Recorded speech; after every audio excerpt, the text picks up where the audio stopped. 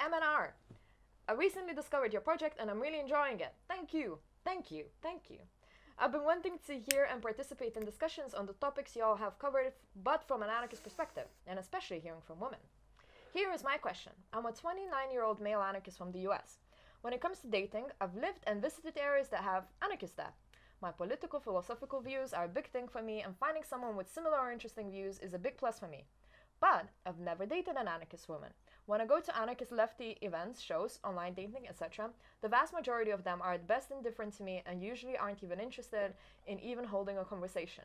At best, I'm only able to attract hippie liberal types, which I can appreciate for them being who they are, but they're not as radical and far enough left as I am and would like, or would like, and would like.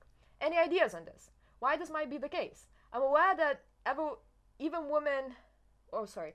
I'm aware that every woman isn't going to be interested in me but i'd say that most people would say that i'm cute so i don't think it's a matter of them not finding me attractive. I don't look or dress like an anarcho-punk types with tattoos piercing, piercings black leather everything so that could be a factor. I doubt people could even guess any of my worldviews based on my appearance. Anyways thanks for your project and keep up the awesome work.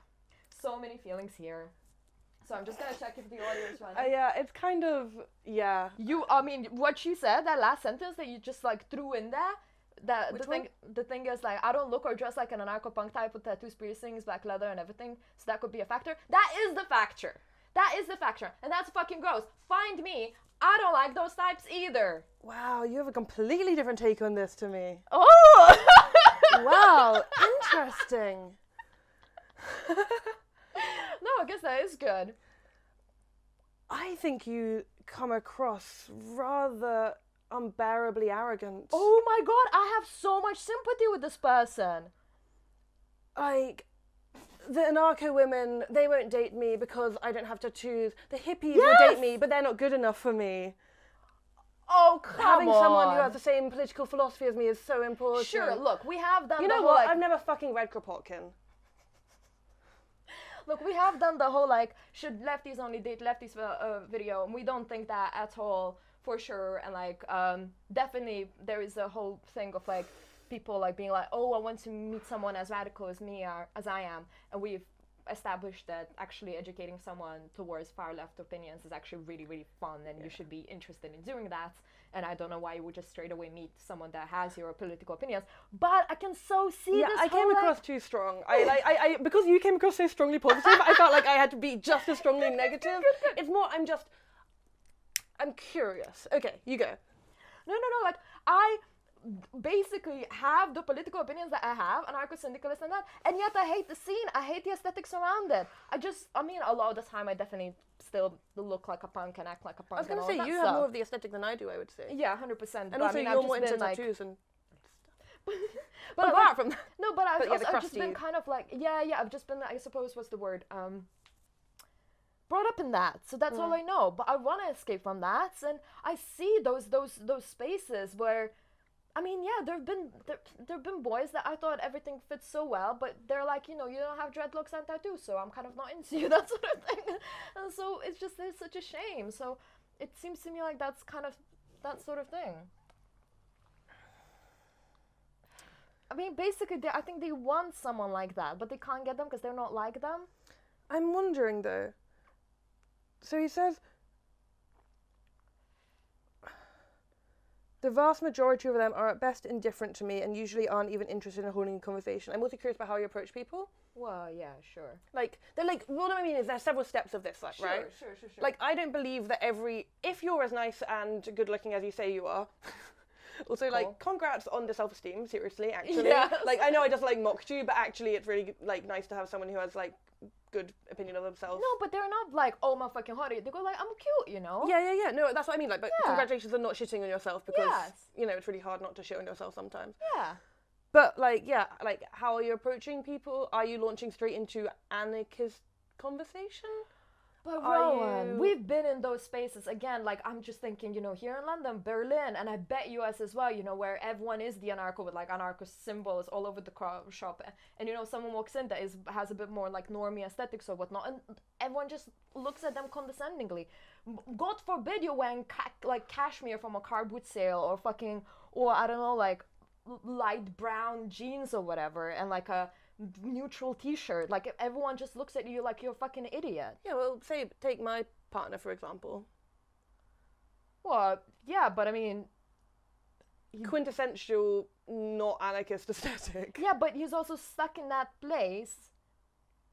Okay, can I say where? Well, I mean, whatever. Yeah, okay. Like, bec- An anarchist hotspot. yeah, yeah, like the only one being that, and you've been fighting like to change that aesthetic too, and we both have been very much saying how mm. it's not like that.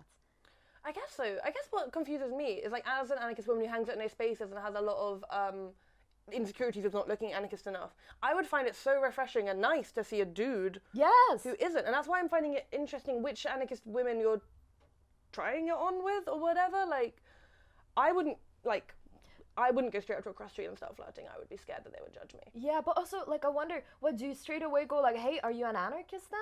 But this is what I mean with how he's yeah, approaching yeah, them. That's yeah. where that was coming That's from. Like, agreed. Yeah, are you it. launching into a discussion of Bakunin's great ideas, or are you saying, "Hey, what do you think of the band?" Or, you know what I mean? Yeah. Like not like also if you're in an anarchist space, you don't need to prove your credentials. Like everyone there, You don't what? You don't have to prove your credentials. Yes, you. Not yes, straight you away. Because you know what I've Oh, discovered come since on. AAA Mm-hmm. is how many people in anarchist spaces are like, "I watch your show," because it turns out everyone secretly wants to talk about relationships. Like, remember at the party we went to two weeks ago where we formed a posse around our friend and like a bunch of other people got in on that too and, start, and found it really funny from different sides of the anarchist scenes because everyone actually secretly is a little like Yeah, and I wore makeup and on and a white shirt in that party and felt like a fucking black sheep. But you got a compliment.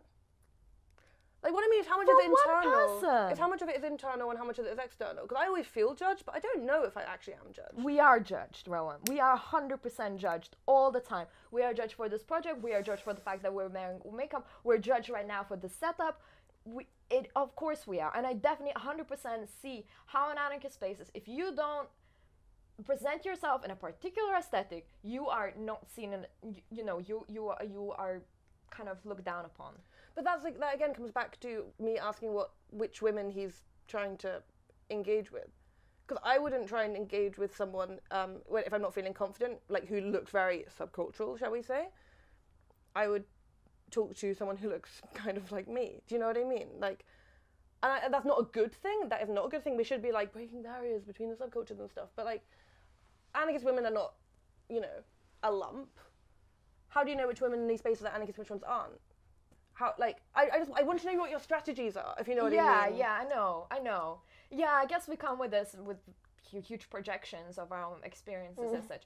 But so I sort of I see your struggles what I'm saying. But I also very keen and please rewatch the shit on lefties only the, the lefties video because I think that states very strongly our view that it's actually a lot of the time a lot more exciting to be dating someone who doesn't necessarily already have your political opinions but that some someone that you can push and they can introduce you something you know they can introduce something else to you that you don't know about as well And also rewatch our videos on how to like flirt and talk to people in clubs because we were told told off, if you if you like, for being quite normative in those videos since we're supposed to be anarchists. But it turns out we're two anarchist women and the way in which we like to be hit on or whatever is apparently somewhat normative and not so anarcho as thou. So again, like yeah, like being more being less anarchist or not less anarchist, but being what is actually seen as like normal in an anarchist space is actually sometimes more appreciated than being seen as really anarchist in an anarchist space, if that makes sense. yeah yeah also i, I wonder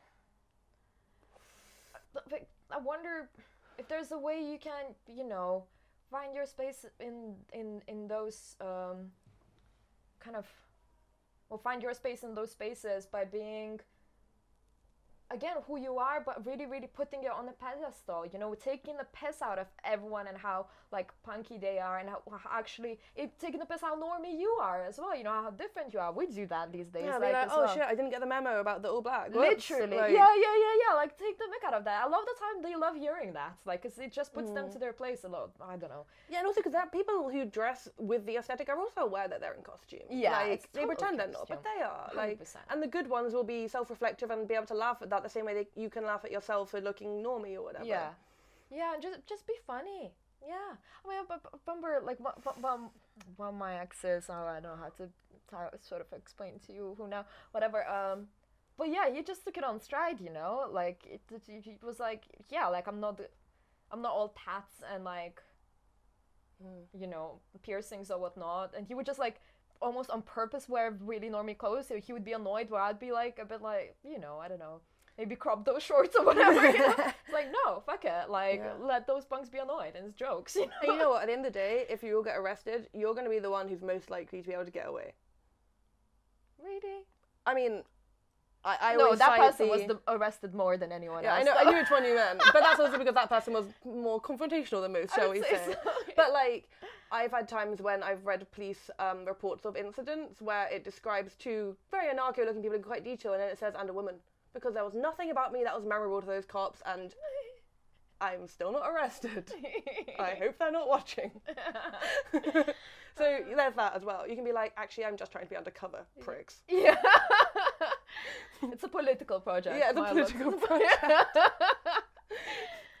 yeah, no, we challenge that, you know, for sure. But again, um, I think as long as you come across as like, you know, empathetic, funny, and understanding how, you know, how fluid these things are as well, you know, with these people, they change their uniform every couple of years, you know. There probably used to be like a festival Instagram girl that then turned a punk, you know, for a couple of years to annoy her parents or whatnot. And then Is this just another hypothetical person? And you know, will turn very cute and feminine very soon. babes. And the one, the one last thing I will say is, you said that you never dated anarchist women, as if anarchist women are a thing you want to try, and that slightly rubs me up the wrong way. yeah, it's a bit fetishistic. Like, yeah, right? they're not like a flavor of woman. No. Like, No. You know, maybe rethink what it is about anarchist women that you find so appealing. Yes, because there's that whole thing that we also spoken about about like the strong anarchist woman that like boys like just Mm. You know what? I never went to. to a Java. I'm fucking sorry. I know, like I think that discredits us. I don't think we're Yeah. attractive We should anymore. have a gun in the background. There we go. Then we, we would be sexy. So yeah, also like maybe interrogate what it is about. Like, what do you actually want in a partner? Because like I can date someone who's read. Can. I really have a beef with Kropotkin, but I can date someone who's read Kropotkin, or I can date someone that's like a good communicator and I can have like a laugh with. Preferably both, I guess. But that's more important to me, to be honest. Yeah. Yeah, yeah. So don't be fetishistic like that. Yeah, like I mean, Yeah. you, mm. Maybe that's what I originally was twitchier because no, I I've toned down in my, my anger. I hope you didn't turn it off the second I started having a Well, go. I toned down my sympathy, I guess. So we were we've, we're in our plateau. yeah, uh, but I mean, don't lose your um, don't lose your I guess what's the word um, enthusiasm. I hope you find the one, but the the one is not necessarily the image that you have in your head. The sort of like ri- riot girl or whatever, Yeah. like A uh, lot of tank, tank anarchists- tank girl, tank girl. Oh. A lot of anarchists don't look like anarchists. Yeah, and or they look like anarchists But but, have their shittiest fucking politics. Yeah, exactly. This is our point. So, Yeah. Well, good luck. good luck.